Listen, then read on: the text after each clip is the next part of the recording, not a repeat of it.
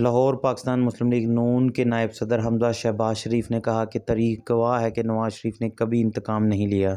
हमजा शहबाज शरीफ ने एक बयान में कहा कि कौम का इतिहाद, मुआशी, बहाली और महँगाई से अवाम की नजात नवाज़ शरीफ का मिशन है। चौथी बार नवाज़ शरीफ का वज़ीर अजम बनना महँगाई से चौथी बार अवाम की जान छुड़ाना होगा। उन्होंने कहा कि हर बार गिरी हुई मीशत को और कौमी वकार को नवाज़ शरीफ ने ही संभाला।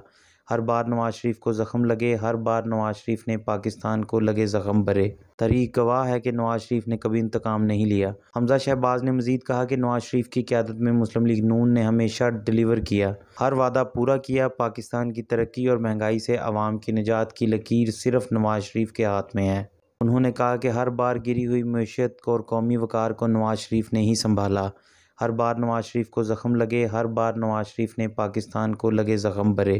तरी गवाह है कि नवाज़ शरीफ ने कभी इंतकाम नहीं लिया। हमजा शहबाज ने मजीद कहा कि नवाज़ शरीफ की क्यादत में मुस्लिम लीग नून ने हमेशा डिलीवर किया। हर वादा पूरा किया, पाकिस्तान की तरक्की और महँगाई से आवाम की निजात की लकीर सिर्फ़ नवाज़ शरीफ के हाथ में है।